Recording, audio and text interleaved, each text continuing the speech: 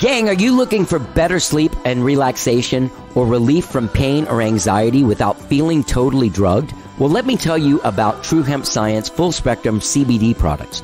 True Hemp Science promises premium quality, pure ingredients, and true value. They source the highest grade organic hemp from around the world to handcraft the finest full spectrum CBD products in the Austin area and beyond. They offer a complete line of full spectrum CBD products, including oils, tinctures, skincare lotions, sports rubs, gummies, and chocolates. Gang, I have been using their products for the last few months, and they've lowered my anxiety and they've given me incredibly restful sleep. The kind of sleep that when you wake up, you feel rested and ready to take on the day, as opposed to waking up feeling anxious or waking up feeling groggy. Well, gang, I have good news too. How Did I Get Here has teamed up with True Hemp Science to bring you a special offer that benefits all of us. Spend $65 or more at truehempscience.com and receive 296 milligrams of their number 81 distillate, which is great for sleep or relaxation for free. That's right, gang, for free. Just go to truehempscience.com backslash HDIGH. That's truehempscience.com HDIGH. Balance your body and mind with True Hemp Science full spectrum CBD products. Let's get down.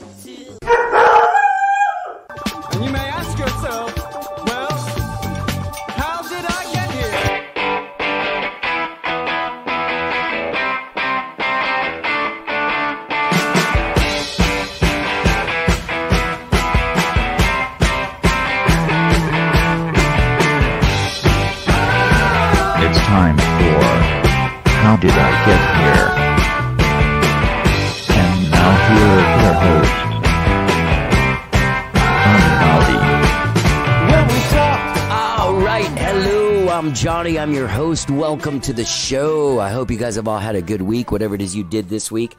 I had a really good week, except for one thing that was just kind of like annoying and weird, and also like could have been totally avoided had I been paying attention to what I was doing. It's so lame when this shit happens. I was out running some errands with Rosie the other day and uh, I had her with me. I was like, "Oh, I can go do some stuff." You know, it's it's been so hot in the afternoon. It's hard for me to do anything with my dog outside, right? It's hard for anyone to do anything outside. So I'm like, "Well, we can go run some errands, go drive through some stuff." So while we're out there running errands, I'm like, "Oh, I have this check. I'll deposit in the ATM." So I go by the ATM, deposit the check, go to my favorite taco place, order tacos, and uh, while I'm sitting in line waiting to buy my tacos, I get an email that says your uh, your debit card has been canceled, and I was like, oh, why is that? And so I opened the email, and I had left my card in the ATM when I deposited my check. But the thing is, is like when that happens, like now they don't give you a replacement card. You have to you have to wait until they mail it to you. So they're like, oh, just hook up to your Google Pay thing. But so much stuff, you know, now we have all these automatic payments that go to our debit cards and stuff. And so now I'm getting all these like notices, and it's hard for me to figure out how to pay them with the Google Pay. And I haven't got, you know what I mean? It's all fucking confusing and annoying. Anyway, I've been, de- other than that, it's been a great week. I went out and saw uh, David Garza at the Long Center last night. It was so fun. So, so fun. So wonderful. David's first time here in town in like three years my dear old friend. If you don't know David Garza's music, I say go check it out. And he also is the the uh, he produced the last Fiona Apple album. If you guys check that out, like uh, the one that came out last year, fucking great album, great album. Hey gang, I want you to know that if you're listening to this show the day that it comes out, Skyrocket will be playing tomorrow night, Saturday, July 23rd. At Sam's Burger Joint in San Antonio. This is for all my San Antonio peeps listening. I know you're out there. I know you're out there. I hear from you.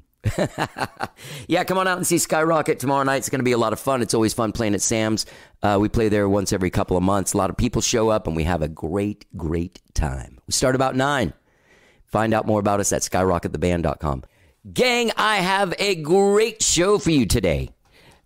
Grammy nominated, seven time Blues Music Award winner, singer songwriter, and now author Janiva Magness is my guest on the show today. Her book, Weeds Like Us, came out a couple of years ago. Her memoir, the story of her life, a harrowing story of going literally through the bowels of hell. You can you, you just can't even believe the level of survivor this woman is.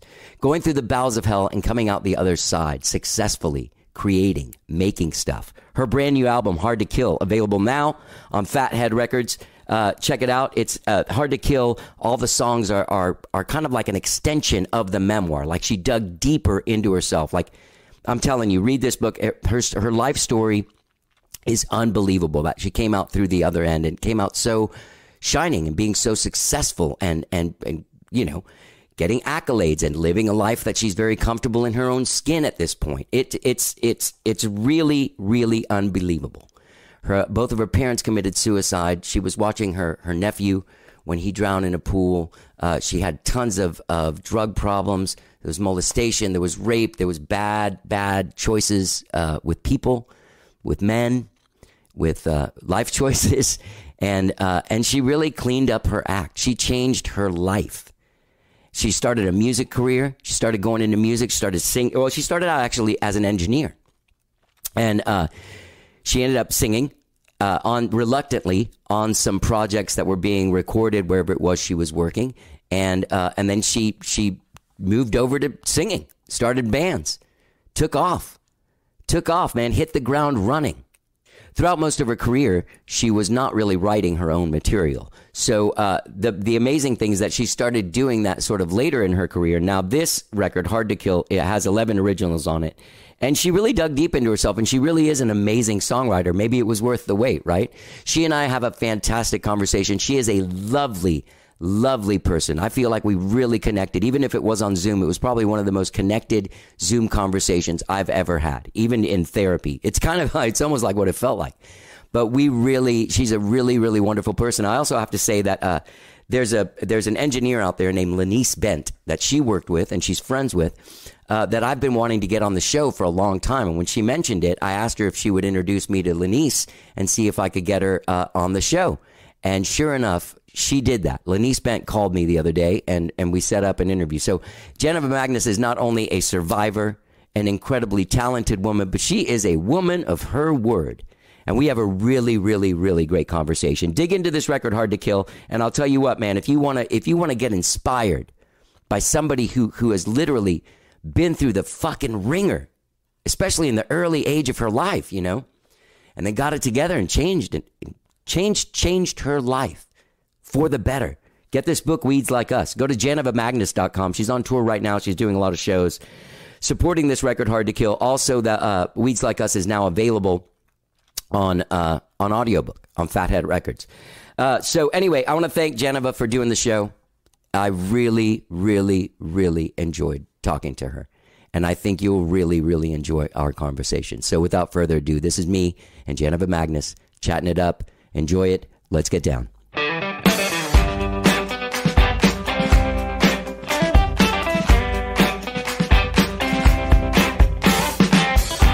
Are the days that I wonder why I can't seem to say goodbye. I want you to know you're my best friend. We've been together since way back when. We had our highs, we had our lows. We lost the fire, now we know it's time to go. I'll always love you. Where are you located? Are you in Nashville? No, I'm in Austin. Always love Nice. Okay. Lazy Nashville, I think is what it's known as. Stoner Nashville. About right. That sounds about right. Yeah, I uh I I bought your book. I know they off- they offered to send me the audiobook and I do enjoy an audiobook cuz I walk a lot. But uh I uh I wanted to read it and I wanted to have it for my collection of guests that have been on the show that have written books. Uh Janiva, you might be, and I live in Austin and I've been around a lot of blues people. I was Yeah. close with Clifford Antone. I used Aw. to uh. play the Antones all the I'm I myself am not a blues man by any means, but you are the most qualified human being I've ever met to sing the blues. Has anyone else ever told you that? Like, wow, you really actually, you know what? All these people singing the blues, like you actually have all the right to be singing the blues. Well, um, I take that as a huge compliment, Sure. and um, thank you for saying that. And I'm I feel like I am um, an immeasurably lucky woman. Yeah. I really like fortune has smiled on me, baby. Yeah. It really has, you know. And you would think, you know, well, you'd think a lot of stuff, but fortune has smiled on me in my view because I'm not stuck in the cut. Yeah. I'm not stuck in the cut anymore. And I was, makes sense, understandably, really stuck in the cut, which is a brutal place to live. A lot of people can't get through it. And it makes sense. Yeah. Makes sense. I, you know, are we recording yet? I don't know if we are. I don't know. Yeah. Yeah. We are. Yeah. Okay, cool. Yeah, you know, people get stuck in the cut, and why wouldn't you? Yeah. You know, Yeah. Your uh, the book is incredible. Weeds like us. I mean, just Thank you. I mean, from the opening line, like what? I yeah, I, I I'm just I'm I'm amazed at your level of survival of trauma. And uh, just just to give you a little background uh, to bring this into more of a conversational sense, I I by no means uh, we we all we all like you always meet someone that like you might have met somebody that had a more harrowing story than you at some point where you're like, whoa, what the fuck? A bunch of times. Totally, totally, Several- totally. Right. Oh yeah, yeah, yeah. Yeah, but but a heavy trauma affects us all, you know. And uh, when I when I was a teenager, my mom was murdered by her boyfriend, and it was like an unsolved case for a long time, and it was like a whole weird thing. But I, you know what I mean? Like we come through this thing, right? And Yeah. and when you see that in someone, like you read Yeah. somebody's story, like when I read yours, obviously I'm like, holy fuck, like this is way more insane than mine. But but at the same time, we are both survivors of extreme trauma. Yes, I am so sorry to hear. Thank you. I'm sorry to hear about Uh, yours. Heart, thank you, and I'm so uh, happy that you're here, and you know, I mean, you know, doing the do. Yeah. Yeah. The other thing I is, I mean, you know, some days I still am like a little, you know, I get a tick every once in a while, or when there's like consecutive, you know, traumatic anniversaries, death anniversaries, whatever. I mean, Yeah. you know, but uh, most days I'm good. yeah. Yeah. Bizarre. Yeah. It is bizarre, isn't it? Yeah. It's bizarre because you walk around in this body and you're not always thinking about having been traumatized, but you, but you are. You know what I mean? Yes, and I, it is uh, again the wild reality that you know I don't walk around thinking about all of that mishigash every day anymore. I, I don't, and there was a long time of my life that I did. I just, I literally, and I think you'll understand this based on just the one thing you shared with me, walked around wringing my hands all the time, Yeah. going,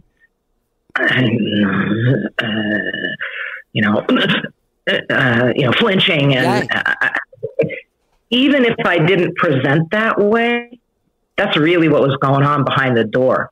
Yeah. you know and so to not live in that existence to not live in what i what i frame it as not living in the cut. So to have had the kind of healing that really is possible from um, you know I laugh, I laugh at psychiatry so much today because everything's got like oh the corners are tucked in really nice and it's all neat and it and it's you know it's very angular multiple complex trauma um, you know severe uh, post-traumatic stress disorder Right. Right. and it all just sounds so like linear and neat and it, in the experience of that is anything but that as we know Yeah. but to come through those things and come out the other side and to be standing on the shore as you and i are Yeah. is profound Yeah. it's it's it's miraculous meaning a series of miracles Right. to me Right. uh, you know, uh, and everybody doesn't have to have the same story, but our experiences, you know, of Right. Life on life's terms. Anyway, where I started with all of that was to say that I don't live in that every day anymore. I don't live in the in the sorrow or the loss or the tragedy or the violence, the experience of the violence or the I don't live in it every day anymore. And like, wow, man, Yeah. Yeah. it's Um, amazing. It's a great life. yes, it is. And it's amazing to to be able to to get to a place in your life where you can acknowledge that and live in that. Not in just like the pile of mud. Right. Um, where where are you? Are you in Seattle? Don't you have shows in Seattle? I'm in Seattle. I'm in the beautiful uh, Jazz Alley is the venue, and they have you know the guy who owns uh, John Dimitriou, who owns Jazz Alley, is a very smart cookie. And years ago, he bought a building in a neighborhood just off of downtown near the venue, and um, it was in you know apartments, and he flipped it into condos, and they're absolutely gorgeous. And basically, when the bands show up to play here, they just drop into the condos Oh, that's awesome. and there's like five or six condos here and you know so i have my own little little spot it's a beautiful thing yeah. In your time touring, did you ever play at Stubbs in Lubbock? no Okay. stubbs barbecue Stubbs Barbecue I know Stubbs. Yeah, yeah. i never did Uh, they they had a great apartment up there, but it was it was a little funky. Yours looks yours looks a little nicer. this one's pretty sweet so you know Also, did reek just totally reek of barbecue, like insane barbecue. yeah but that's not a bad thing No, no, no. But when you like when you're trying to go to sleep, it's it's a little weird. um, smothered in sauce yeah y- your album "Hard to Kill" is equally as uh, incredible, and I I love that you kind of came to uh, songwriting kind of later. In, Oh, yeah. in your in your in your development as a as a as a musician. Um, but the one thing is it is is it started with you wrote a couple of songs on one record and then you did that record original. Yeah Okay, and now this record, "Hard to Kill," which is it is it reflects uh, weeds like us, right? It's like a musical reflection of of that. in many ways it's a like a retrospective of my life and where i've been but it's a different uh, I, I feel like you want to ask me a question so i don't want to start blithering on here It's going to be a weird Um, question, but I'm, I'm oh. also I'm also a musician, an entertainer, and uh, and so uh, they we, we we have a lot of commonalities. Um, Cool. One thing that I did notice about you while reading the book, listening to the record, and kind of creeping on your life on the internet, here comes this uh, incredible revelatory or revelatory uh, personal story where you let down all your guard, and it also seems that you stopped dyeing your hair at the same time. For the listeners, um, my Scottish blood is evident 100% now in my hair, which is, um, It's fantastic. I like, thank you, thank you. I like to think of uh, it as Emmy Lou White. Exactly. I was just about to say it's like uh, Emmylou Harris is one of those people like you see her and you're just like, oh yeah, She owns that, man. Yeah. She's the absolute, absolute empress, as far as I'm concerned, of many things, but certainly white hair. And um, it's not, it's not gray. It's platinum. And who knew? There's still black in there. Like my hair, I've been a brunette my whole life. So my joke right now is I've been at this thing. You know, I started this thing as a brunette, right? Right. So, um, yeah, I there was a lot that happened for me during. You know, I'm not using the. I'm, I'm calling it what we've been through: the p word and the c word. I don't even want to hear those. I don't want to hear the words anymore. Yeah. I'm so like, you don't even say that to me, even though we're not really seemingly out of it. no, It's morphing. It's morphing like a virus do, Yeah. you know? And so there's all of that. But um yes, it it's all I guess part of the metamorphosis, you know, of wow. yeah, And you know, I mean, I uh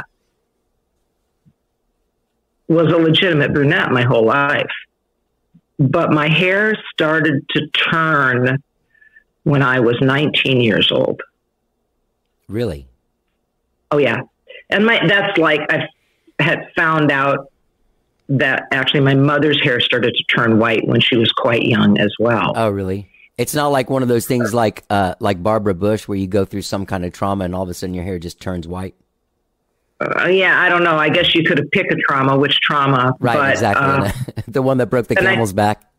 yeah, and I sus- yeah, nineteen, and I suspect that my mother, rest her soul, was also a trauma survivor. In fact, I know she was.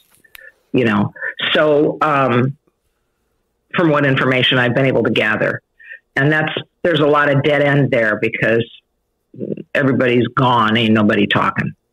Yeah, Gone meaning dead. yeah, and the dead don't speak very easily. But anyway, the point being that uh, I've been coloring my hair for a very long time, and because I just really didn't want to go there, I didn't want to go there, and so one of the come to Jesus conversations that I had with self about um, exactly what the hell was going on and right. what was I going to continue? And a lot of us had this. What was I going to continue to do? What was I going to continue to not do? What was I going to continue to invest my time, focus, energy in? What was I con- going to stop focusing on that wasn't serving me? Is it serving me? How is it serving me? Is it helping or hindering? You know, am I spinning my wheels? Um, you know, and then like let's talk about the thing we don't talk about, the aging process. Yeah, You know what I mean? That we're all like nobody gets out alive. that's Nobody. exactly right. Nobody. So, you know, do I like look, the business of music is pushing rocks up a hill. Yeah, That's what it is, as far as I'm concerned. Never been anything. It's some some rocks are bigger, some is, is harder. The music, not the business. The music is what for me is the holy water Mhm. of the whole thing, the experience, the the music as it comes through us, and I believe that that's what it is. It's that you know, in, in my best space, in my best state of being, I'm a channel of something, and it comes through me, and I don't hinder it, and then it comes out, and you know, maybe we have a new song or some new music or something like that, or new story to tell. Right. But um, the business, the record companies, the publishers, the numbers, the archaic patriarchal, here we go, the archaic patriarchal system of business that is structured around taking money from artists, Mhm. the revenue stream part of it, yeah, um, always has been pushing rocks up a hill yeah. to varying degrees. And so, don't get me wrong, I've had some some amazing blessings in the business of music, Yeah, and I have. uh, I really really have, and I've worked really really really hard, but.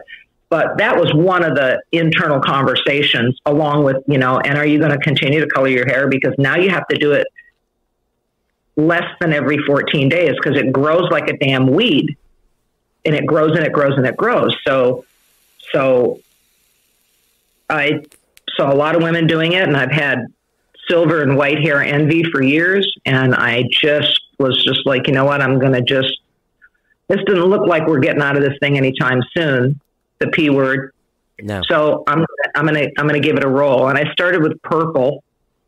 Saw a lot of women with purple hair in the last three years. yeah, yeah, I was one of. I started with purple and I was like, hmm, okay. Because my hairdresser was like, no, no, you can't do that. No, no, you're on stage. You can't. no, no, no, no, I don't know. No, no. And, you know, finally I was just like, I'm going to let the dogs run. yeah. That's it. And, and so, you know, some of my girlfriends are lovingly pissed off. They're like, damn it, you hit the lottery on the hair. Yeah. Yeah. Well, Okay. kudos also to your hairstylist because she does a great job. Like it looks cool. It's not like it's a, Thank it's you. a Yeah, it's gotta be, haircut or it's gotta be cool. I gotta have some hipness. I gotta have Yeah. rock and roll. I can't have the old lady here, Well, even if I am. let's talk about that because that's that is one of the things that I, I grab. I'm 53 years old and I've been doing this since I was 14. So Yeah. you know, you you you you you you feel a certain way when you're when you're living in your skin, and then you walk by a mirror and you're like, holy shit, I'm not like 27 anymore. You know what I, you know what I mean? Like, and and also artistically, it's difficult to keep challenging yourself and to stay uh, cool and relevant. And that's one thing I do have to say about your record, just from the opening song, the the strongest steel. It's cool as shit. Like it is. Thank you. You you've maintained. You know Alejandro Escovedo.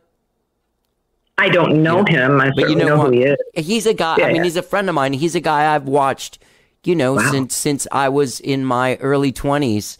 He's a little bit older than me, but like, you know, I look to him because he's the coolest guy I know, and he's a guy that's kind of navigated this thing in and stayed cool and relevant. And you've done that same thing. Like your accolades have all come as you've gotten older, and at a time when you think that the accolade times are are gone. Like you just got a Grammy nomination. Yeah, in 2016, In 17, it's uh, Yeah, yeah, 16, and then they do the awards in the, you know, winter, January. Yeah, but Uh, I mean, were, were you were you sixty at that point, or fifty in your fifties, or I was in my 50s. that's not really something you think is going to happen when you get to the to your fifties in this Wait a business? Let's see, it was 2016. So yeah, I was 59. But still, you know what I mean. Like I, I don't. Yeah, you know, what I mean? Yeah, exactly.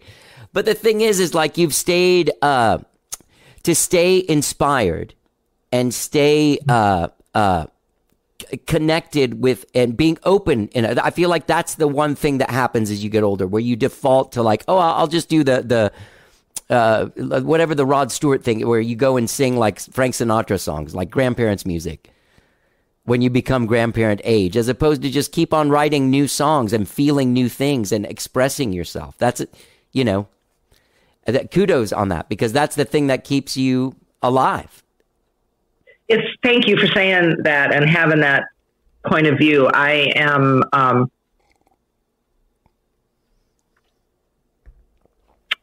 it's a crooked road.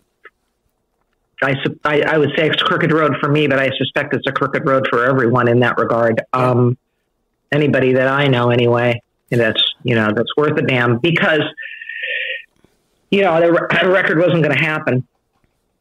wasn't going to be. I did not um, do what many of my friends did during uh, the P, and and go, hey, this is great. We're going to get a bunch of gear, and I'm just going to like shut the doors on the cave, and I'm just going to be really productive and write all this music, and I'm not going to have these distractions of having to go on the road and all this other kind of stuff, and blah blah blah blah blah. Excuse me. And that was not what I did. I shredded a bunch of stuff. I cleaned out a couple of closets, and then I went deer in headlights. Yeah. And then eventually I went from deer in headlights to like the ringing of the hands came back. Yeah. And I was like, what, what am I, I don't know what I'm doing. So I saw this diagram recently and it's a triangle, a big triangle with a really fat base. And then there's a line drawn very close to the top of the point of the triangle. And there's this line. So there's this little tiny bit at the top that it says what you see. And then there's this whole, and this is a diagram of an artist. Right. And then there's this whole massive part of the rest of the triangle underneath the line that says all the work you don't see. Right. I'm like, that's it. That's it. So, you know, the album almost was, I mean, it wasn't going to happen because I had reached a point of critical mass where I didn't think I could do it anymore. I didn't know why I was doing it. I didn't know what the point was. Mm. I lost myself, just like I said in the liner notes. Yeah. I lost the album. I lost myself between the office, the kitchen, and the bedroom over that two and a half plus years. And I didn't know who I was anymore. I didn't know what the point was. I didn't know where I was. This was beyond depression. This was like a a mental crisis I was having. It was really weird. And you know, I have great fortune to have some people in my life that I truly trust Yeah. and you know my dear friend Dave Darling, who happens to be my songwriting foil and really my muse and producer, like calls me up just out of the blue, and he's like, "What are you doing?" And I was like, ringing my, and he goes, "I mean, can I curse on this show?" Oh yeah, all the Yeah. time. Yeah. what the fuck are you talking about? I go, I don't know, man. He goes, well, aren't we going to make a record this year? I mean, it, don't you think it's time? I mean, it's been like a couple years and stuff. And I go, I don't know, man. I, I just, I don't think I can do that anymore. Isn't 15 records enough? And he goes, no. I said, well, he's a scrapper like me. And, he- you know, so he's like barking at me on the phone, which is one of the ways that, you know, he cares because he barks. Right. And I go, I don't know, man. I just don't think I have the energy to do it anymore. I don't, I don't know what the point is. Right. And now I'm crying on the phone. And he goes, The point? I go, Yeah. He goes, You're a fucking artist. That's the point. It's what you do. And I'm like, Is it? Are you, are you sure? You know, it's a, you know, perception's nine tenths of the law these days, right? So, you know, because at that point, my perception had become so small and so narrow that I, I, I lost it. I lost myself. I lost my, I lost my sense of purpose. Now, hindsight, he goes, "Yeah, get to work. We're doing a record. Snap out of it." So the the movie Moonstruck, I flash on that now because that's what it was like. That moment, that beautiful moment in the movie Moonstruck, where Cher slaps Nicolas Cage Yeah, really hard, like, whack, Yeah. and he looks at her like, and she goes, "Snap out of it." It was like one of those Yeah. Yeah. those I was like, okay. And and I was like, Are you sure? And he's like, I'm totally sure. What is wrong with you know, like, come on. I know, I know this has been hard, and I know it's not like he's without compassion, but you know, uh, it's Kenny Rogers. You know, you got to know when to hold him and know when to fold him. Yeah. And this was not this was not fold him time, No. and I didn't know. That. You can convince yourself though that it is. I do I it all the time. Yeah. Yeah. I had the the all the old, you know, haunting. A lot of that came came back out. It grew like a bad, you know, poison ivy or something over Yeah. the top of my head and my brain. And so and so we began. And oddly, which right now I I think is I see it as some sort of universe like I have a friend who says God's my favorite comedian. I'm like, okay, all right, all right. And so we began to try to write, but I had to get the audiobook finished first. I had committed to do the audiobook with my dear friend Matt Kartsonis. And I've known Matt a really long time as a musician. And it turns out his pivot during the thing that we just came through for the last several years was to become an audio book recordist, producer. Yeah. He produces audiobooks. So I call him up and go, hey, he just, you know, aren't you doing this audiobook thing? Can you tell me about it? I don't know anything. I think I need to do an audiobook. My fans want it, blah, blah, blah. And he goes, yeah, I know a little bit about it. And I'm like, okay, we're having lunch. And he goes, yeah, I, I'd like to do this. I'd like to read your book and then get back to you, but blah, blah, blah, blah, blah. And I love you so much. And we've known each other so long, da, da. It's like 36, 40 years, something like that. Matt and I've been friends. And he's a brilliant musician. So it turns out he just finished Rickie Lee Jones's audiobook. I mean, he is he's an audiobook producer of note. Right. Right. Who knew? I didn't know this. It's just my friend Matt Kartsonis, who's a great guitar player and a swell guy Right. you know. And he reads the book and he comes back to me and he goes, "We're doing it." And I'm like, "Dude, do you even have the?" He said, "Shut up, we're doing it." So here's what happened: I had to finish the audiobook first because of schedules and everything else, and then go in and do the record. So we did the audiobook in ten days.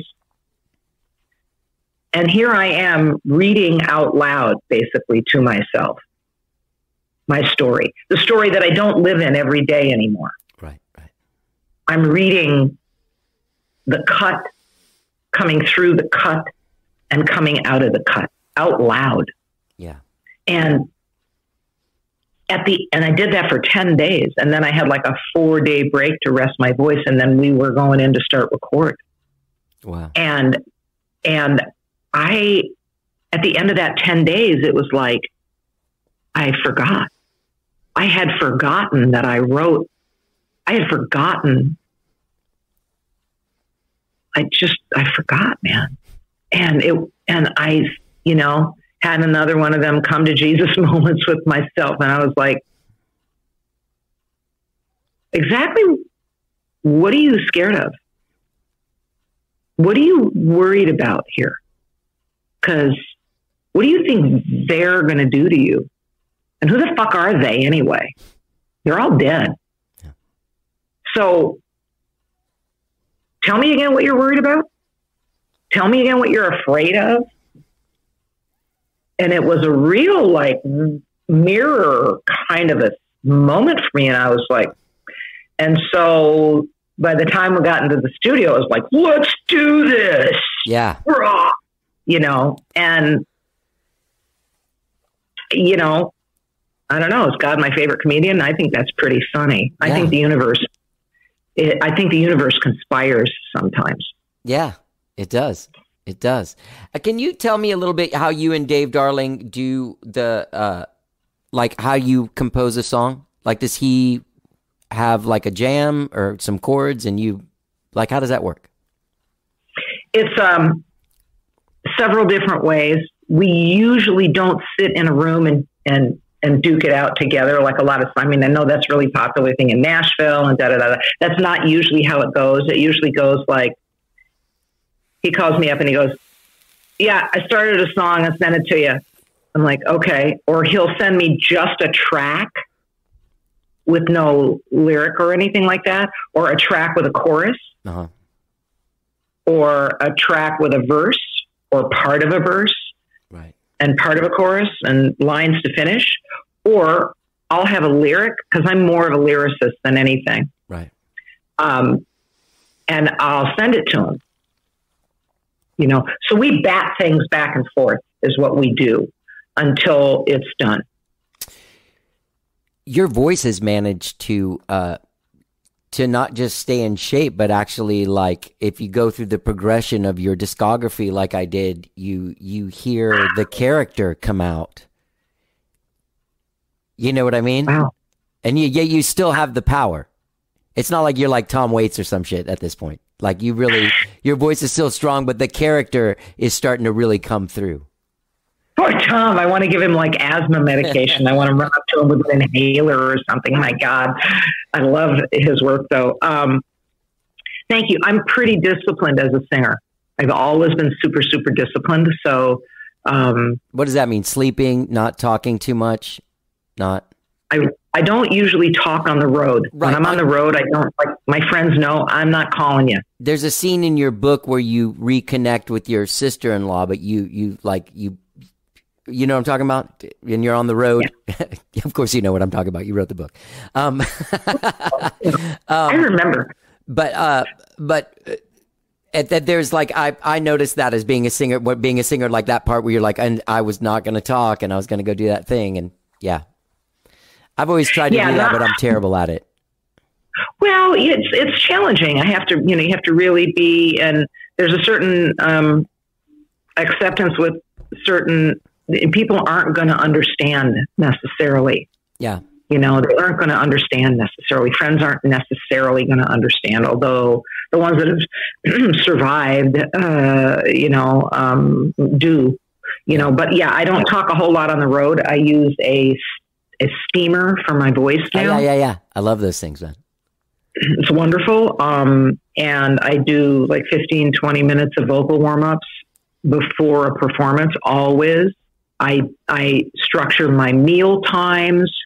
Um, I do yoga, but I've been heavy into yoga for like now 31 years now. yeah Um, it's, what- it's what I'm going to do when, when we sign off excellent. you know um, you know and uh, i really limit my dairy products because it's the most mucus producing thing you know, do Yeah. um, so i'm really committed yeah I have a lifetime of being committed to um, taking care of my voice. Yeah. Well, it, you've done a great job of it. Thank you. And the character is still coming through. Like the, the whatever that character is that people get as they get older in their voice. It's cool. And also Thank like you. your your uh your delivery to me has also uh uh it, like it, it's that thing where you get more confident so you don't have to do as much to prove the, the power. You know what I'm saying? Like less is more as you get older. You you understand the power of less. Yeah, and and I've I've I'm grateful that I learned that. You know, um, thanks for noticing. You Yeah. know, it's. Uh, I, I mean, you know, a lot of singers. There's a lot of gymnastics. That's not my thing. It's Right. never been my thing. Um, it doesn't really lend itself to the genre of American roots music. Thank you know, blues, American roots, soul music is like what I think of as soul music. Yeah. You know, Yeah. Gladys Knight, you know, Aretha. That's soul music. Yeah. So anyway, um, yeah. So thanks for noticing that. Yeah, because, definitely. Uh, Um, and the power is a funny thing. Can I tell a power story? please do. This is your time. I didn't always. Yeah, yeah. I didn't always have that power. Uh, I know I have a powerful voice now. Mhm. My producer and I refer to me as Ethel, as in Merman. it's like our jo- our little joke. Ethel's in town. Um, so I was in my twenties, and I was living in Phoenix, and I had been coming at the singing thing for a while, as I talk about it in the book. But I was living in Phoenix, and and that's when I started to actively actively get into blues. I was already into blues, but I started to get really actively like digging in right. um, to the genre and really it was the first time I heard Robert Johnson Mhm. was when I was living in Phoenix and it was a guy I, you know, was dating and I walked into his apartment and he had a Robert he had one of the two Robert Johnson vinyls on and it flew I mean, I was devastated. It Yeah. flipped me out. And we literally like that was the date we lay we laid on the living room floor and listened to Robert Johnson over and over and over. And I was taken, man. I was completely taken. And so, um, you know, then Son House and, and Skip James and uh, Memphis Minnie and da da da da. da. I was just, uh, I couldn't get enough. I couldn't get enough, and I was just chewing it up. And one night, I went to this place in Tempe called Tony's New Yorker Club, and it was whatever night of week it was. I don't know if it was Sunday night or Monday night, whatever. They had jam. They had a band called Texas Red and the Heartbreakers, and Texas Red also his name is Paul Halpern is from San Antonio. So Red had his band, and they were ferocious. They were a great band, doing Muddy and doing all this stuff, really popular. but they had this jam session. So I showed up. You know, I was twenty something, and I signed up, and I got called up. And Red looks at me and he goes, "Well, little lady, what do you want to do?" And I said, um, how about it hurts me too, Elmore James? And he went, oh, really now? And I said, yeah. And he goes, do you know your key? And I said, yeah, the key of D. Oh, really now? I said, yeah. And they kicked it off. And this voice came out of me. I'd never heard it. I had never heard me sing like that before. And it was loud as the day is long, and it was loud and proud. And you know, the, you know, there's that, there's, uh, it hurts me too. There was another song, um, Come On in My Kitchen, which is the Robert Johnson tune. Mhm. And then I call, I so we did. It hurts me too, and and the crowd went nuts. And then and then he goes, you you need to do another one. And I was like, okay, let's do come on in my kitchen. He goes, what? And I said, yeah. Now he, you know, what key? E, okay. And then I sang that, and you know that top of that song, if you listen to it, begins with a very intense, mournful moaning. Whoa. And this, again, the same monster voice came out of me. And I was like, what the? And it kind of been there ever since. It was weird. It's amazing. Yeah. That's amazing. I was I was going through uh, in your book. There's a photo with an old friend of mine who passed away. Were you were you close friends with uh, with uh, Ian McLagan? With Mac? Oh my God. No, I wasn't. I met him. I think it was pretty much one of the last shows he played, and we were on WoodSongs Old Time Radio Hour uh, in Lexington, Kentucky. It was him and me. I was going through town, and I've played WoodSongs countless times. And what a sweetheart! yeah. What a sweet dude. What a beautiful spirit! Yeah, And he passed shortly after that. It wasn't that long. yeah. He was. Uh, yeah, Sorry. yeah. He was. Uh, he was such a great dude. It was, it was 2014 when he passed. Um, Yeah. Yeah, it was a, that was a shock and a bummer. That was a real treat to have a guy like that that you could go see every Thursday, like in the early 2000s at this place called Lucky Lounge for free. Like you just go watch him play for two hours. Yeah. Austin, man. incredible I- band. Yeah, I don't even he and he told the story, which I'm sure was a story he told a lot, and he loved to tell it. It was clear about how um, Rod Stewart was his singer. Yeah, yeah, yeah. I actually, he said Rod referred to him one time as as the as the keyboard player, as piano player, and he was like, "No, yeah, yeah, no, no, no, no, no, you're my singer. I hired you." It was like, gee, pretty funny. yeah. He was a great dude. Um, uh, Ed, okay, so then I was going through your uh, through your Spotify, and sometimes I like to go see who people like who uh, uh, you might also like bands. So Yes. there were a few of my friends in that one. Sue Foley, Uh, Sue's fantastic, wildly talented. wildly talented. Also, still makes cool like her last record. She was on the show, but like uh, uh the, for her last record, just the same kind of thing. Like just balls out, raw, rock and roll. You know. Carolyn She's great. Wonderland is another person I've been friends with for thirty something years. I think Carolyn is incredibly talented as well, and I just think she's fantastic. I don't really know her well, but I, I've met her a few times. We've been on campus together, you know, Yeah, same festival, tour circuit, that kind of stuff. yeah, she's a lovely, lovely human being, and a, a talent that's just beyond, uh, Yeah. beyond. Um, and another one of my favorite people, uh, Marcia Ball. Do you know her? Yes. she was in your thing do. too. Yeah, I love her. I I, do. Yeah, truly do. yeah, she's fantastic. We were on a bowling team for charity together years ago. This rock. That's how I I met her and got to know her, and we ended up becoming buddies after that. Nice. Yeah.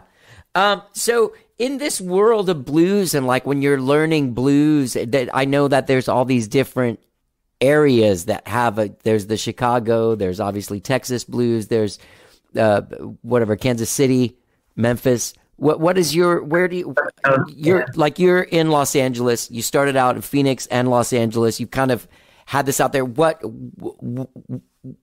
what blues do you identify yourself with?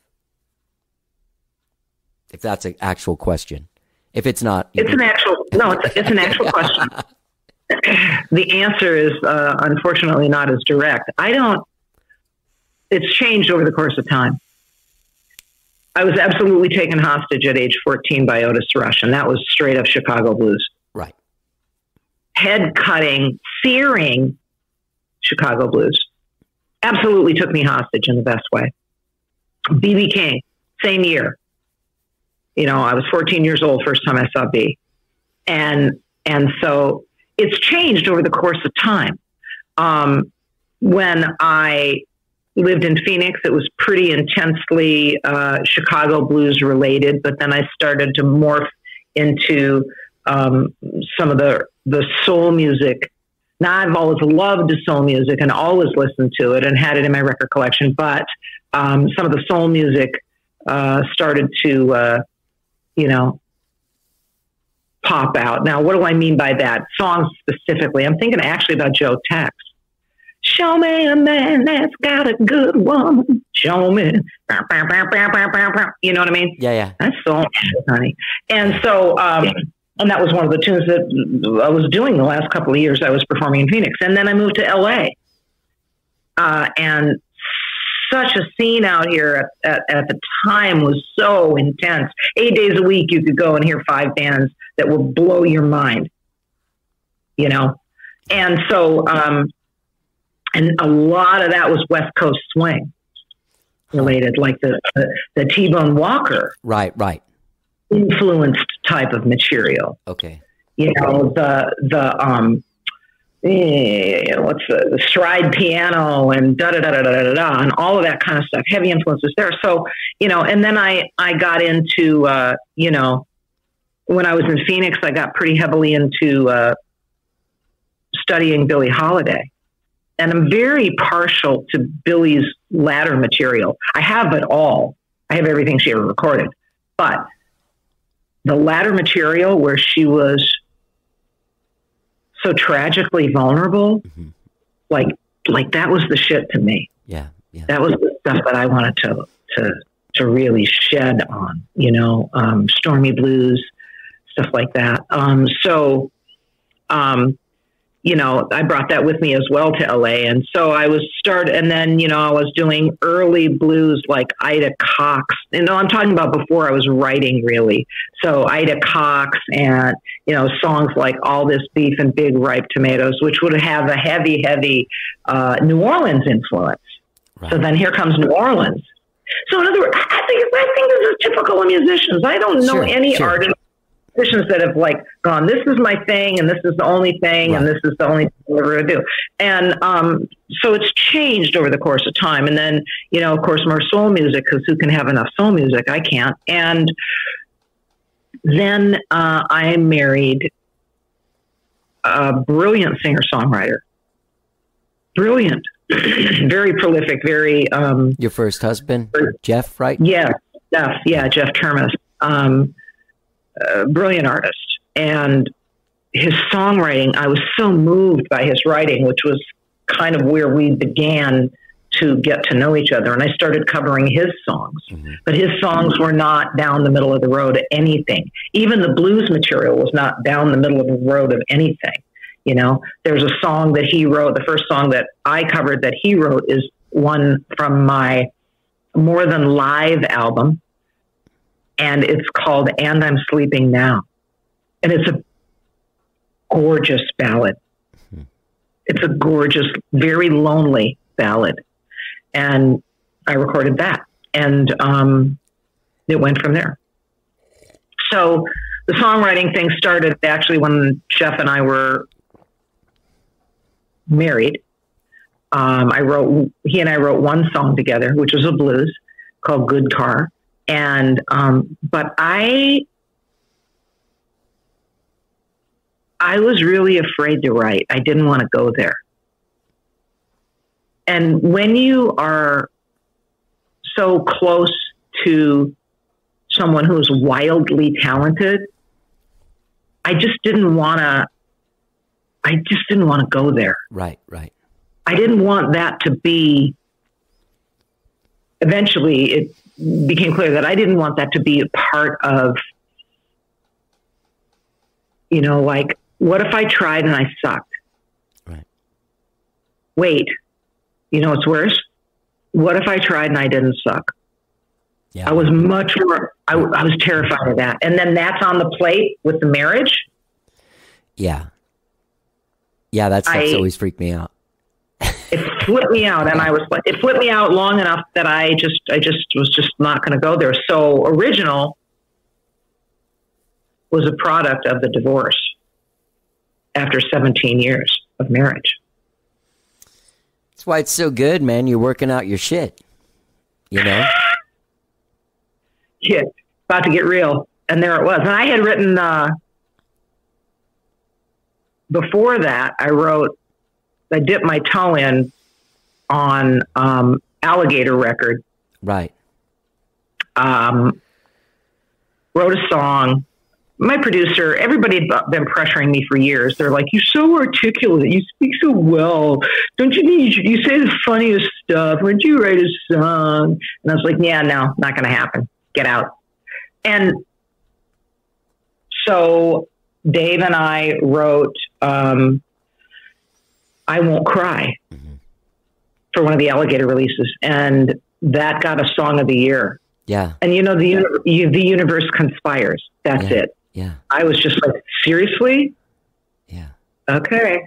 Yes. And you know, we get we literally get off the stage, and I think I talked about this in the book. We get off the stage from winning Song of the Year, Yeah. the Blues Music Awards in Memphis, and we're backstage, and I'm just like, I don't even know what to say. And he looks at me and he goes, grinning like a monkey, and he goes, "You know what's next?" Yeah. And I go, "Can we eat? You eat? Let's eat. We're in Memphis. Let's eat." And he goes, "Nope, all original album." And I was like, "Ah, stop torturing me."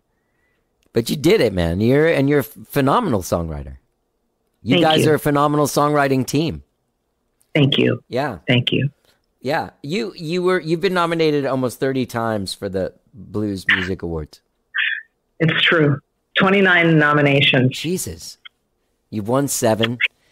The Seven story in the book with the BB King and and uh, Bonnie Raitt giving you Entertainer of the Year, that's a pretty beautiful moment. You're there with your daughter. That's what you find out later in the Oh shit, I don't want to spoil your book, but I didn't want to talk too much about the book because you probably talked about it so much.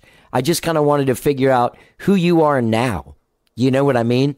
Like I'm Yeah. going through the journey of that book and listening to your music. I was like, I, I gotta who? Where is she at? and you're ju- ju- just a lady about to do yoga, drinking uh, green juice and coffee, alternating Green juice between and the coffee, baby. Had a little half of a breakfast burrito. You know, yeah. Um, And going to do a show in Seattle tonight. You know. Yeah. Yeah. Um, so you're going to tour for the rest of the year? Is that, I mean, are you just kind of like always on tour or what's the story? Because that's what blues people, country people, and now basically everybody that needs to make a living is on tour. Are there people making a living out there doing this? Because I'd like to talk to them. Yeah. No. Okay. So um, I've got some other shows the rest of this year. It's not a terribly busy, busy schedule, although it has been pretty uh, full since April. Um, so, you know, I'm committed to finish out the touring for this year, and then we're going to see what happens after that. Because if the reality is, this is another part of the like what happened during what we went through. You know, um, everything has tripled in price. Yeah. So here we go the business of music, the cost of hotel rooms, the cost of flights, the cost of gasoline. Let's not talk about gas, okay? Yeah. uh, you know, um, rental cars, planes, trains, automobiles. You know, do you really think that I should drag my band members from hell to breakfast for the same amount of money I was giving them five years ago? Yeah. Really? Exactly. Really? Is that fair? Yeah. I don't feel good about that. I know what we have to do. I know that lower part of the triangle intimately. You know, all the work that's involved, the, Yeah. the 10, 12, 14 hours a day. People talk about, what do you do on vacation? I go, what's a vacation? Yeah. I don't even know what that is. I lock my doors, close my windows, turn off my phone. Yeah. I want to pull weeds out of my garden. Leave me alone. That's a vacation. So, and, and I'm not complaining about that no, no. But is it sustainable? And I don't have a happy answer to that in the way that it has always, that I have always done it. And is that, uh, I don't know what the right word is for it. Is that way of working going to continue to, it's not sustainable now. So it has to change. So I'm not sure what's happening beyond that. Did the audio book. Um, you know, I'm, I'm grateful to be able to say I have 16 albums out. Yeah. I think that's like a big deal. I went back through and listed for my publicist the number of times I've been in the Billboard top 10. And it's more than half my, it's like nine times I've been in the Billboard Yeah. top 10 on a debut of, of uh, nine out of 16 albums. That's, that's pretty nice stats yeah. you know. Um, you know, however, I'm not the flavor of the week, you know, and now I'm, you know, Emmylou's my template for hair goddess, Yeah. and I am I'm older. I like to think that on some days I'm wiser. Mhm. Just like I said in the song, I'm a little bit older, I'm a little bit wiser, and I'm a little bit closer to the grave, or a lot closer to the grave. This is the last quarter of the game here for me. That's not morbid. I'm good. Yeah. Okay. But what am I going to do? Back to that question. What am I going to do with this time? How is it serving me? And traveling from hell to breakfast in an increasingly expensive situation, I just don't know, man. Yeah. I know that's not the answer anybody wants to hear. No, but it's a realistic answer that uh, that that we're all facing. I mean, this has been a really sort of like odd 20 years for our business has been completely shaken up like a, you know, Yeah. Yeah. And and to be Oh. reinvented, you know. Yes. Yeah. So somebody says to me who I trust, another person I trust, like like I've got more than two people I trust. It's shocking.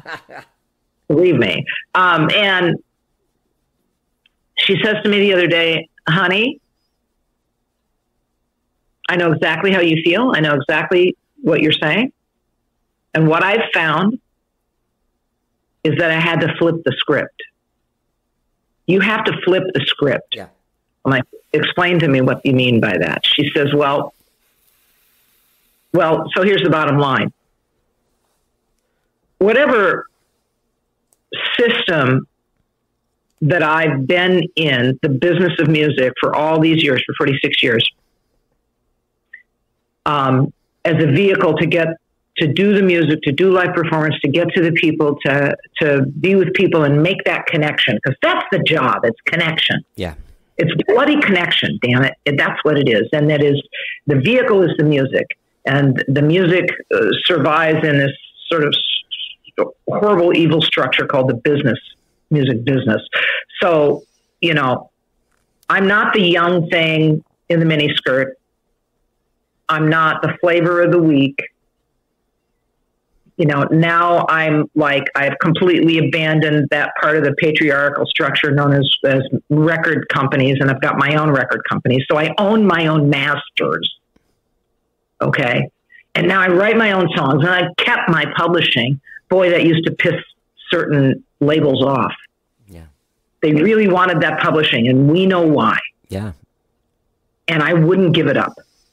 And it really made them mad.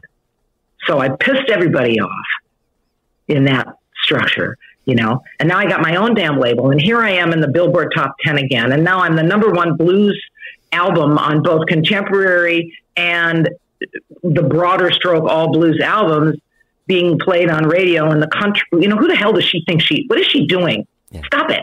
Yeah. Yeah. You know, flip the script. So I'm a bit of an OG now, Yeah. or I am an OG. And so what do I do with that? I, you know, flip the script, own it. I'm not going to get that approval. I'm not going to get that other approval from whoever I, whoever the vague them is again. It's like, you know, the great and powerful Wizard of Oz. Right. Pull the curtain back. It's a fat, bald guy pulling levers. Yeah. Yeah. You know. Yeah. Yeah. Oh, so you know, I guess the future is a question mark now in terms of touring. I I know without question I must be in the music. I must, or I will get lost again between the kitchen Yeah. Yeah. Yeah. Yeah. and the office. Yeah. It won't be good. It won't be pretty. No. Uh, you know, I don't know if I would survive that again, honestly. So I must be in the music. I must be with the fans. I must be with the musicians. Yeah. And then all the rest of it, I'm not sure Yeah. We'll what figure that it out. looks like. I don't know. Yeah. Yeah. You know what I thought was really interesting is that you came into this as an engineer, which is is uh, has always been something that it's kind of I've always thought it was weird that there aren't more women engineers. And I have that conversation with female engineers on the show and in life and stuff. And it's it's interesting because I think it all boils down to the fact that uh, as kids, as boys were given erector sets, or at least I was, or Tinker toys, or some shit. You build something and you do, and a girl is like, like here's Barbie's Corvette and her house, you know. So it's a different sort of thing. But but what was it about the engineering? Like, did you really want to be an engineer? No, I wanted to be around musicians and Right. music. I didn't. I didn't. I mean, I'm really good at, I've always been really good at math. Mhm. Uh, So there's that. But um, no, I didn't. But I thought that I couldn't, I was really struggling with addiction at a very young age. And I thought that I couldn't, uh, I found myself in 1978, 1979, clean and sober the second time and I I was afraid that I couldn't hold on to that and be a musician. I was terrified that I couldn't hold on to recovery and be a musician. I didn't know any musicians in recovery. We're talking 79, baby. Yeah. It's not like it's like trending like it is now, Right. you know. Like And 1979, people in the music business wore those necklaces with like cocaine vials on them, right? Yeah. in the line in the song, Strong as Steel, Yeah, yeah. where I said cocaine in a plastic Jesus. Yeah. I had a 61 Volkswagen bug. It was beige. And I had a plastic Jesus stuck to the dashboard. And I kept a little blow. I kept some blow in that plastic Jesus because nobody's going to look there. I get pulled over. They're not going to take my plastic Jesus. Come on. It was a great stash place. Anyway, I was trying to hang on to my recovery and I was really afraid that I couldn't. So I said, damn it, I'm going to do the next best thing. What's that? I'm going to become a recording engineer. Then I can be in the studio where they're making music and recording it and doing all of that. There aren't any women recording- recording engineers. You can't do that. I don't care about any of that. You go over there and you keep telling yourself you can't do it. I'm going to go over here. I'm going to see what I can find out. And then I got a scholarship and then I got an internship Right. at a recording studio. Yeah. I started to learn. Yeah. I answered the phones. I scrubbed the toilets. I I um, uh, duplicated and edited cassettes. Mhm. That's how long ago it was, kids. You know, um, the multiple slave uh, cassette duplicating machines. You know, that was my job, and that's you know. So I came in what I think of as the back door. Yeah. Now I will speak to this women in uh, recording studios thing. When I moved to LA many years later, I dropped, literally dropped into a group of people. I was with Gary Starr, who had previous, he was the chief engineer over at Sound 80 in Minneapolis, which is where I met him. Uh, And then, but previously, for many, many years, he had been the chief uh, engineer um, at the Village Recorders Oh, in. Los Angeles yeah. Yeah. Famous. world renowned Yeah, studio. Yeah, he built. Yeah, yeah, yeah. Just the hit records coming out of that place were crazy. So that was Gary. So Gary hired the first female recording engineers because he saw that and he was like, "Yeah, I'm not playing. I'm not having it. I know these women are talented. I know they're going to be brilliant, and you know, um, I'm just going to do it." And it was outrageous. Yeah. He hired Terry Diane Becker, Lenise Bent, Yeah. Carla Frederick and um, Barbara. Fr- I can't remember Barbara's last name. We called her Babzini, and he hired these four women, Yeah. and he taught them engineering at the village during that time. So Lenise, like you know, Breakfast in America, Oh yeah. Yeah. Yeah. I, Average White Band. I mean, it goes on and on and on and on. Now, all of them. Uh, Lenise is alive. The rest of the ladies have passed right. now, but Lenise is still, and we're dear friends. And I Oh, work are? with Lenise. on my- yeah, yeah, very close friends with That's what I Lenise, and we are, um, you know, she worked on uh, More Than Live. Oh, awesome. Yeah. So I, I was trying to get her on, like on the show, like uh, I don't know, six months ago, seven months ago, through another friend of mine who's friends with her, who's a female engineer out in L.A., uh, who I used to write and play music with here when she lived here. Um, and and I came so close, but something had happened, and then I've kind of like lost the thing. But if you if you can put in a good word for me, I will. I'll totally. We'll make this happen. Don't worry about that. It's going to happen. Oh my Yeah. gosh! I know she'd be thrilled I'm to talk with a- you. And I'm yeah, I'm, I'm such a fan of her work. And uh, when I did that interview with my friend Angel, she she was doing uh, some kind of seminar at the time on engineering, and and Lenise was the was the was the main speaker. she's the OG now there. the And I'm telling you, man, it's real. Um, she was one of the first, the first four to try. I'd call it a trifecta, but there were four. So I don't know what you call that. Quadfecta. Yeah. Um, We're dear friends.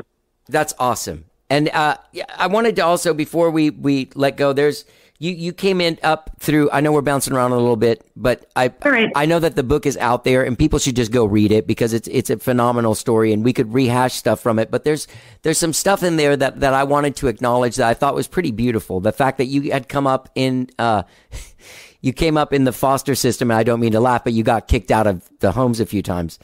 Uh, and it's so it's so funny to be to be talking to you now and try and imagine who that person was. You know what I'm saying? Because you don't seem like you'd get kicked out of anywhere now, except for maybe a Trump rally.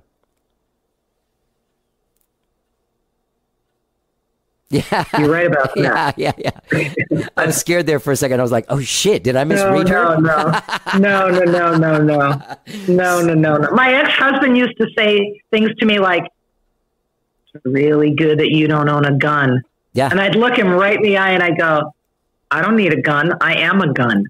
Ah, I am a gun. Yeah. Okay. Anyway, um, just I just worked on a song last year with this dude named uh, uh, Quentin Arispe, and uh, he's got a song called "I Am the Gun," which is a great song.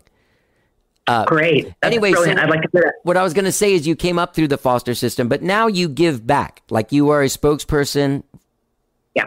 for which A organization?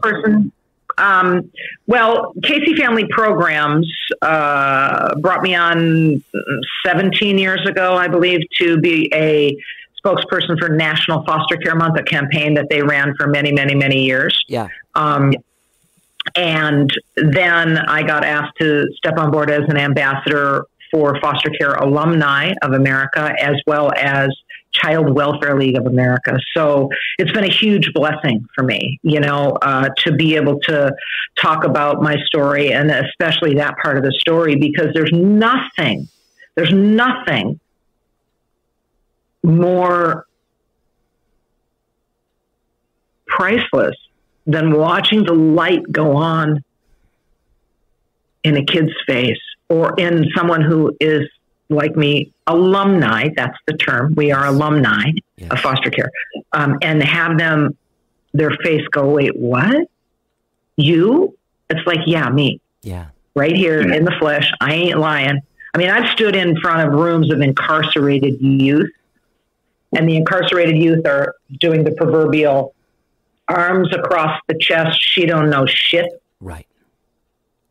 and get up there and play some music and then and they're still she don't know shit and then turn around and tell a short version of my story and about being in foster care and coming through it. When i was a kid we called it the meat grinder. When i was in it that's what we called it the meat grinder amongst ourselves. We never say that to the social worker you know? Yeah. and um, the connection. It's that connection thing again you know? To watch someone connect in a way that turns a light on in them. And to witness that is is so profound and so beautiful that um you know if you give me a soapbox i'll stand on it and i'll tell the truth. I will tell the truth. And um and because i've seen it i've seen it too many times. And i wish i wish that i had had somebody tell me that this wasn't going to be the end of the story. Yeah. See, I thought it was never going to end. Right. My pain Right. was never going to end. Right. It was never going to end. It was always going to be this. I would always have to struggle with myself. at that level, I would be stuck in the cut. And it's not the end of the story. No, it's, It's not. it's really not the end. And I didn't know that, you know? And so oh happy day, man. And to be able to give that idea to someone else yeah. is I'm in. Yeah. I'm in. Yeah. Well, Janiva, I could talk to you forever. I really, I'm, I'm really blown away at your talent and your uh, great writer too. By the way, like you wrote, a, you not only do you have a great story, but you're a great writer. It's a compelling story. Everybody should get out there and, and read this book, Weeds Like Us. I think my aunt might have bought it over the last couple of days because I was telling, I was telling her like she's like, "What are you doing?" I'm like, oh, "I'm reading this book. I got this lady coming on the show." Told her the thing, and she was like, "Oh my god, what is the name of that book?" So, uh, anyway, uh, people should get out there and read it and check out all of your music, especially the latest record is Hard to Kill. They can find you at JanivaMagness.com. Um, oh, I wanted to mention that that song, Oh Pearl, the last song on the record uh, for your daughter, just such a beautiful song and and such a beautiful story, like that that it ended the way that it did, just unbelievable. Thank you. Yeah. Yeah. It's, uh, yeah, that, that song. I read last week that a writer said, uh, in the review of the album, Oh Pearl, I don't know how she could have possibly done that vocal without breaking down. Oh yeah, But the answer is, I didn't. I totally broke down. I totally broke down. yeah. I lost it. Well, it's you know for the listeners it's uh my daughter whom um you know i had when i was a kid it was a baby having a baby. And uh i gave her up for adoption when she was four months old because it was very clear that i was not okay yeah, and i was not willing to pass that to her it's pretty amazingly uh, mature. But you were mature, like you were a, a child beyond their years as a kid. But like that—that's a you you know, at four months, like that's that's a difficult, difficult decision. And I, you know, but it's a it, it, once again this this story is beautiful. Your your life story is as hard it is as it as it was, and as difficult hmm. as it is to get through those first few chapters. You know, where you're just like, oh, I don't know if I can I can go there with this lady. You know, sorry no, I no, it's okay. It's God. fucking heavy, man. It's very, very heavy. I don't know. Do, do you Yeah. know? Do you know who Kathy Valentine is from the Go Go's? I, I certainly know who she is, Yeah, yeah. and um, friends are mine are friends of hers, but we don't know each other. But I hear she has a hell of a story. Hell of a story. Her book's really good too. Uh, it's called uh, All I Ever Wanted. But yeah, I need to check it out. yeah, Yeah, she's phenomenal. She's uh, even though she is a go go, her her musical world is the blues, and she's a phenomenal guitar player and stuff. I knew she was a great guitar player. I didn't know she was in the blues. I'm Oh, going yeah. to read her book.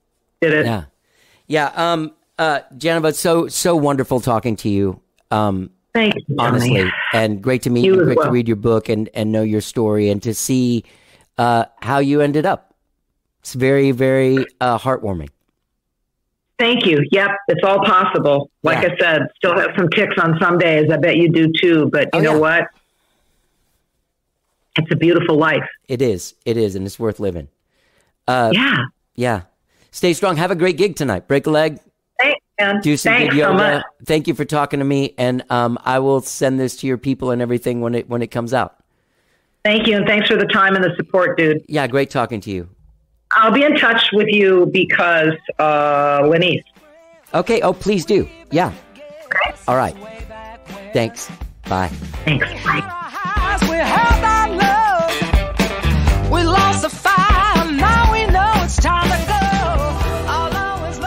Janiva Magness. Her album Hard to Kill available now wherever it is you you stream and download your music on Fathead Records. Also, the audiobook of her book uh, Weeds Like Us is available now as well. I really enjoyed talking to her. I want to thank her for taking the time. I really did. I, I really I, I really like Janiva Magness. I hope that we stay friends for a long time. All right. And I wish her all the luck in the world. Gang, don't forget when you're out there checking out JanivaMagness.com, checking out her stuff, checking out her music, you can always subscribe to this podcast wherever it is that you stream and download your podcast. Listen, follow, like, do what you do. All right. Find us on uh, Apple Podcast, Spotify, TuneIn, Overcast, Stitcher, anywhere. New shows every Tuesday, every Friday. Sometimes next week, actually, we have three shows next week. We're dropping a lot of shows because I've been doing too many podcasts. Great, great, great, great episode. Uh, I want to once again thank Janiva Magness. This is her song, uh, Don't You Forget About Me. All right, let's get down. Don't you forget about me. I won't forget about you. These are the nights.